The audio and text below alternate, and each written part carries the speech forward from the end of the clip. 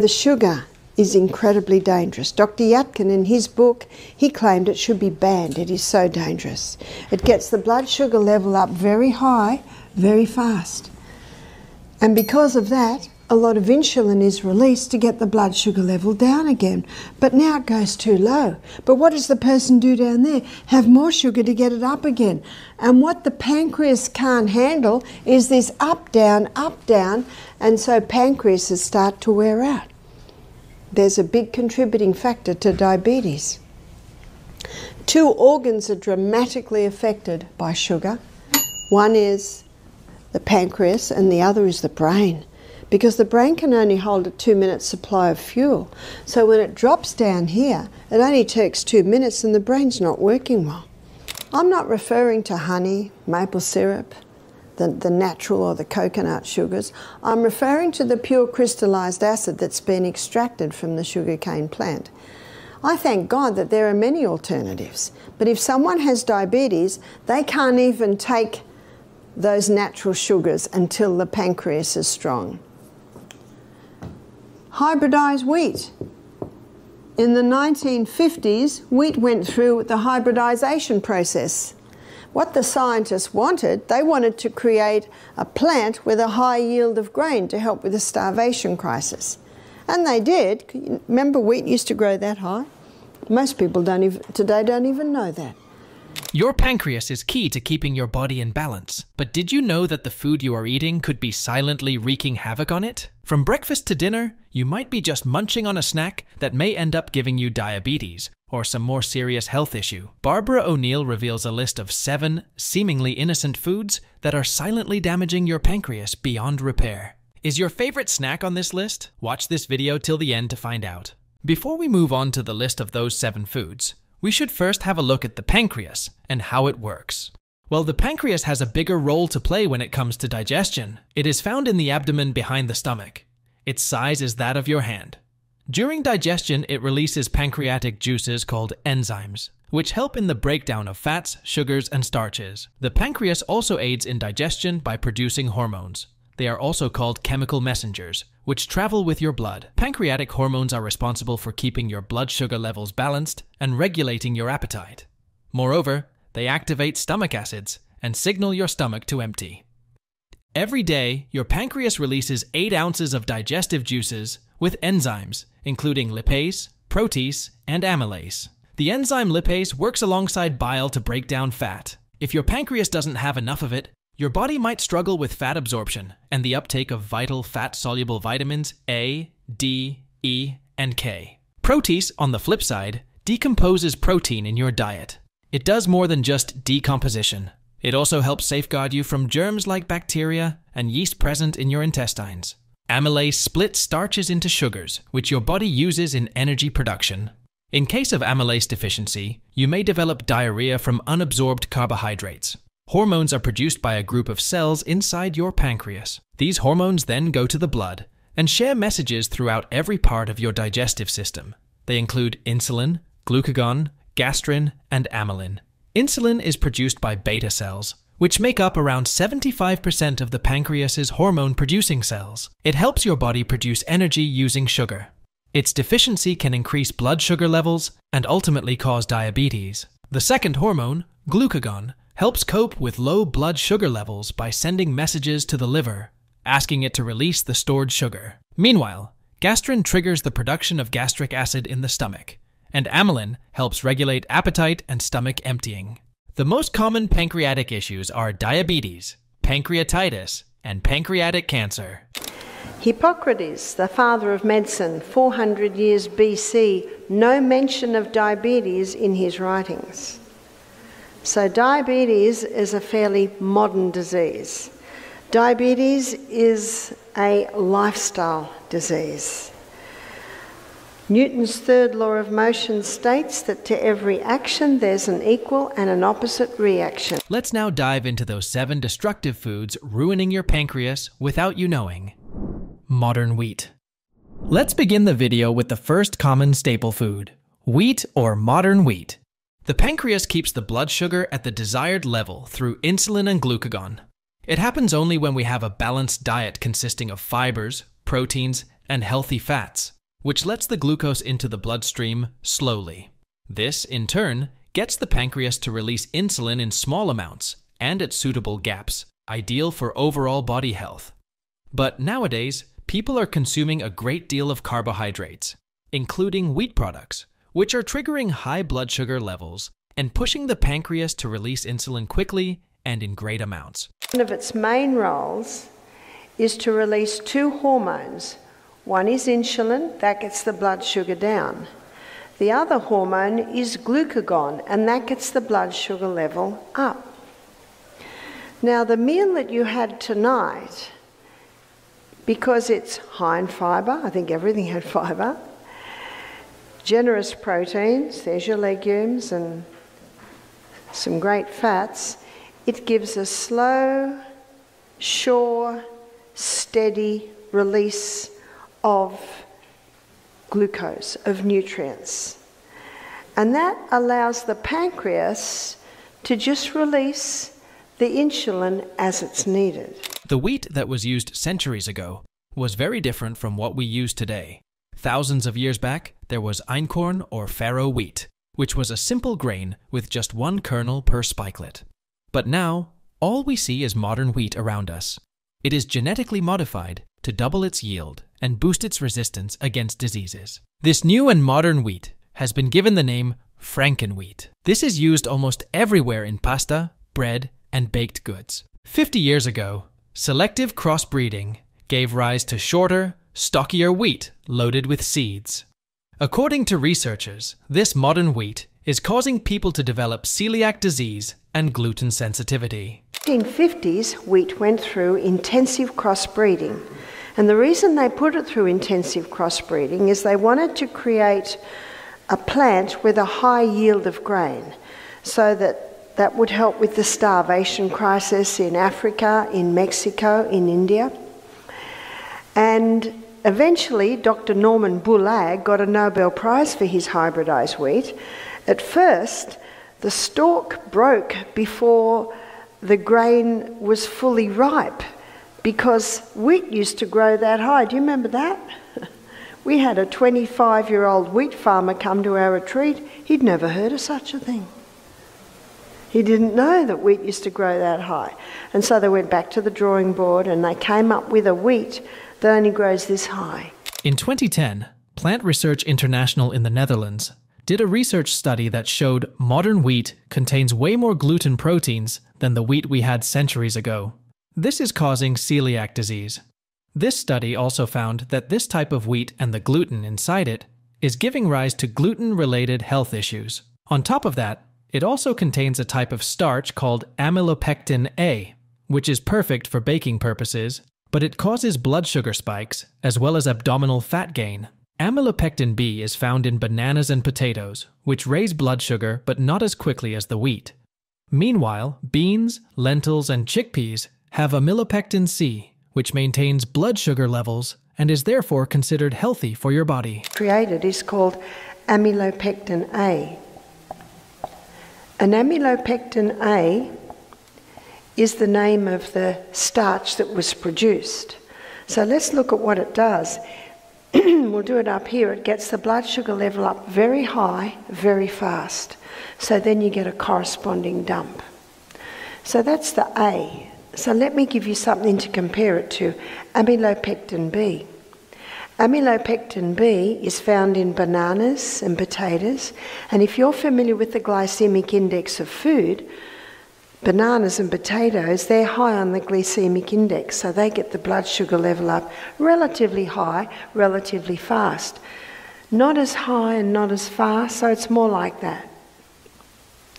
So that's your B. Amylopectin C is found in all your beans. There's your lentils, chickpeas, lima beans, cannellini beans, kidney beans. So, what does the C do? The C gives a lovely steady rise, maintenance, lovely steady drop. That's what every cell in the body wants. Barbara O'Neill thinks frankenwheat is the root cause of increasing type 2 diabetes. Dr. William Davis, who wrote the book Wheat Belly, says amylopectin A in wheat more easily and quickly turns into sugar than table sugar itself. Even if you eat just two slices of wheat toast, It will raise your blood sugar levels more than a chocolate bar. What's even more shocking is that modern wheat contains polypeptides, also called gluteomorphins, which trigger feelings of pleasure in your brain and give rise to an opiate like effect. So, whenever you eat wheat based foods, you instantly feel pleasure and end up craving more wheat products. This is why you can't stop yourself from having more than one biscuit. Barbara O'Neill strongly recommends that wheat should be cut down from your diet at all costs and should be replaced with whole grains if you want to protect yourself from any type of diabetes or avoid getting your pancreas damaged. Refined sugar. Refined sugar is second on our list, and it might be doing more damage to our bodies than we think. When we consume complex carbohydrates, they break down into glucose in our digestive system. This glucose then enters the blood and travels to the liver. The liver then sends it to our body cells with the help of the pancreatic hormone insulin. It works like a key to open the cells and push the glucose inside them. Stop is refined sugar. Now, if someone's if someone's looking at conquering diabetes, initially they also need to eliminate all your healthy sugars, like your your palm sugar, your uh, maple syrup, and honey. So they need to be stopped until the blood, until the pancreas is starting to, to recover. Once it enters the cells, two types of energy production occur the aerobic pathway and the anaerobic pathway. The aerobic pathway needs oxygen to produce energy and releases 36 units of energy, while the anaerobic pathway doesn't need oxygen and thus only releases 2 units of energy. Barbara O'Neill says when we consume a lot of sugar, especially pure crystallized one, our blood sugar levels rise uncontrollably. Our pancreas releases insulin in case of high sugar and glucagon when our blood sugar is low. High blood sugars push it to release more insulin to maintain the blood sugar levels. However, this can trigger a cycle that leads to more severe conditions, which goes like this. High sugar consumption leads to high blood sugar, which triggers more insulin production, resulting in low blood sugar levels called hypoglycemia. As a response, the brain sends a message to the pancreas to release glucagon to raise blood sugar levels. This on and off release of both hormones leads to a condition called insulin resistance. Finally, the body cells stop responding to insulin, and glucose remains outside in the blood, causing unbelievably high blood sugar levels. Plus, the pancreas gets worn out from constant hormonal release and struggles to control blood sugar levels. White bread. To prove that white bread is more dangerous for you than sugar itself, let's discuss the glycemic index, GI. It is a value used to determine how much a specific food can raise blood sugar levels. Now, the glycemic index is a very important index for diabetics because the glycemic index is an index or a reading on how quickly the glucose in that food is released into the blood. Foods can be divided into three GI categories low, medium, and high. They are also ranked using a scale of 0 to 100. A low glycemic index is 55 or lower. A medium glycemic index is between 56, 69, and a high glycemic index is 70 or more than that. Foods with high carbohydrates or sugars are often digested quickly and have a high glycemic index. However, foods with protein, fiber, and fats have lower glycemic indexes. According to Barbara O'Neill, Sugars, in general, have a glycemic index of 59, but white bread has a glycemic index of 69. Do you know what's more shocking? Whole wheat bread has an even higher GI than white bread. It is 72, surpassing even the sugar's GI. Besides, white bread is made from refined wheat and has added sugar content, which makes it a bad choice for a healthy diet. This added sugar is the reason why it has a greater glycemic index than the sugar itself the, the wheat started to go worldwide. So by the 1990s, every bread, cereal, pasta, cake, etc., pizza, all made out of this hybridized wheat. It was rushed through with no safety studies. They didn't think they had to do safety studies. It summarizes that regardless of the type of wheat bread, it has the capability of increasing your blood sugar levels more than the sugar itself. It is best for people struggling with diabetes or managing their blood sugar levels to avoid such products completely. Produced was a type of such starch structure that gets the blood sugar level up higher than even sugar. White pasta. Next on our deadly food list is white pasta. Similar to white bread, this pasta is also made from refined wheat. Both white pasta and bread lose almost all of their nutrients and fiber during their manufacturing. And according to research, consuming these refined products directly increases the risk of type 2 diabetes and obesity. White pasta is loaded with empty calories and offers little to no nutrition. It is the process of refinement that takes away all the nutrients and leaves sugar and calories in these products, leading to high blood sugar, weight gain, and several other health issues. Unfortunately, many countries have adopted an unhealthy lifestyle in which their meals have a large part of carbohydrates, like white flour, white bread, pasta, sodas, and sweets. Once the wheat grains are refined, they lose 50% fats, 50% calcium, 80% iron, a lot of fiber, 50 to 80% B vitamins, almost all vitamin E, 70% phosphorus, and 98% magnesium. Is people predominantly are eating a high carbohydrate diet. And this high carbohydrate diet releases a lot of glucose. And that glucose, when it gets into the blood, especially the refined sugar, and by the way, the refined grains, it's almost as high as sugar. But there is one grain that gets the blood sugar levels higher than refined sugar. Is that a surprise? And the grain that does that is what? Bread and cereal and pasta and cakes, etc., and pizza are all made out of predominantly one grain. What's that one grain? So it's more like we are munching on empty calories when we have this type of snack cakes and pastries.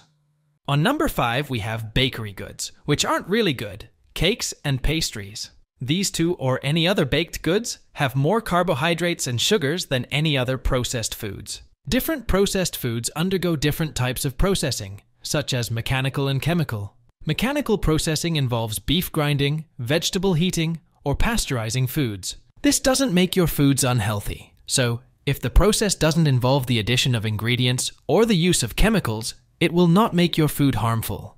Chemical 1, on the other hand, involves the use of artificial ingredients and refined products, leaving the food with no nutritional value.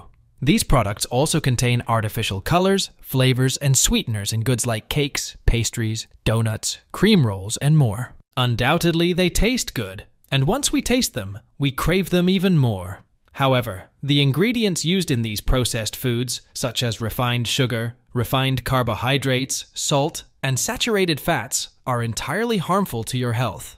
We already know how refined sugar is worse for your pancreatic health. The second ingredient is refined carbohydrates. Our bodies need carbohydrates, and we can consume them daily, but there is a big difference between refined and unrefined carbohydrates. Refined carbohydrates don't have the said nutrients anymore, plus they will only raise your blood sugar levels. Coming to fats, the croissant you consume has butter, which has saturated fats. Sadly, it doesn't only affect your cholesterol levels and cause heart disease, but also has a link with type 2 diabetes. It isn't just your croissants that have saturated fats. The processed pastries also carry the same ingredient. So your cake, donuts, biscuits, and everything else in the bakery aisle are harmful to your health. Caffeine. On number 6, we have none other than your usual caffeine. Research shows that it can raise your blood sugar levels by affecting the production of insulin in your body. Caffeine can lower insulin sensitivity. This means your cells become unresponsive to this hormone and don't let in the glucose. Therefore, after you have had a drink or eaten something, the sugar in your blood will stay right there. This triggers the production of insulin in your pancreas, eventually overworking them. As a result, after every meal, your blood sugar levels are at a peak. Oh no refined sugar and no caffeine. Caffeine can actually get an insulin response, so that has to be stopped. When he came to our retreat, he ate only low glycemic foods, he had legumes every meal. He started to drink more water. And if you already have type 2 diabetes, then caffeine should be the last beverage you should be relying on. It's because your body already isn't using the insulin as it should be.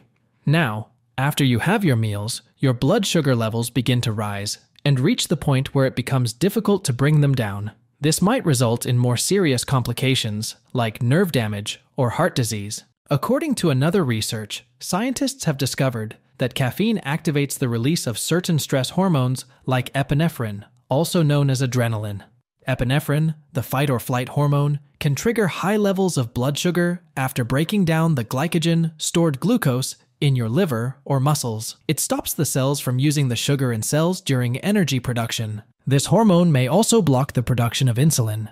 Another hormone, cortisol, is also released from it, which may lead to insulin resistance, ultimately causing high blood sugar levels. Therefore, overall, caffeine consumption is dangerous in many ways and should be eliminated from your diet. Barbara O'Neill has real life stories that prove that cutting down on some toxic food products, such as those on this list, alongside caffeine, helps safeguard against diabetes and keeps your pancreas from overworking. Deep fried foods. Last but not least, number 7. Deep fried foods. Restaurants and fast food chains use deep frying methods to cook food quickly and inexpensively. Many people who are really into junk foods like french fries, chicken strips, fish, cheese sticks, or others end up consuming them on a daily basis. While these fried foods taste and look heavenly, they actually do more harm than good to your body. They are high in calories and contain trans fats, which can pose serious risks to your overall health. Killer fats are your altered fats. There's your deep fried foods, there's your margarines, those fats that have been changed or altered, or your polyunsaturated fats that have been extracted using high heat. They're the dangerous fats. Generally, these food items are wrapped in a flour coating before being fried. When they are fried, they lose all moisture content and absorb fats, which in turn increases their calorie content.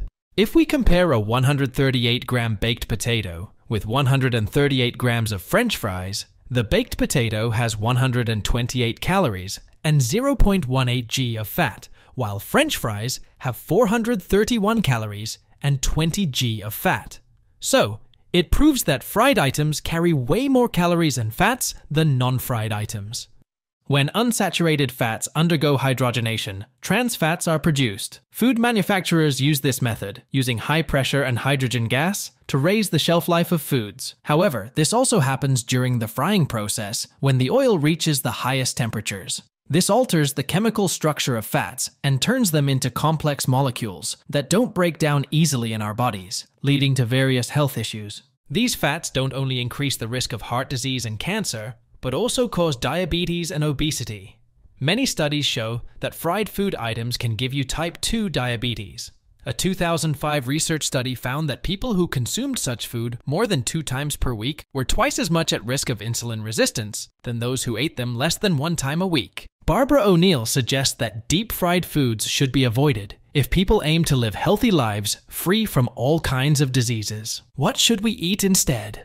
Barbara O'Neill shared the stories of two people who had type 1 diabetes, and they were told that they couldn't get rid of it. However, after they made changes to their diets and followed a healthy lifestyle, they were miraculously free from diabetes. If diet can change the fate of diabetics, it can surely save one from developing diabetes. We do. To conquer diabetes, go for the low glycemic index foods. It's not easy. I mean, it's not. It's easy I meant to say it's not hard to get a glycemic index. You can, you can Google that. It's a matter of having uh, berries for breakfast instead of banana. It's, a, it's as simple as having a sweet potato instead of potato. O'Neill suggests that we should go for low glycemic index foods. For instance, you can eat berries instead of bananas and sweet potatoes in place of regular potatoes. Whatever you eat, be sure to cut down on wheat and focus on whole grains only. all your berries, all your berries sit at about 26. Grapefruit, it sits at uh, 25. So for the diabetic, these, these are good fruits because they're low GI. They're a lovely, slower delivery of fuel. Add legumes and beans to your daily routine. They are perfect for maintaining your blood sugar levels. Refined sugar and products made from white or refined wheat should be completely minimized. Go for whole foods, low carbs, and ancient grains like spelt and kamut.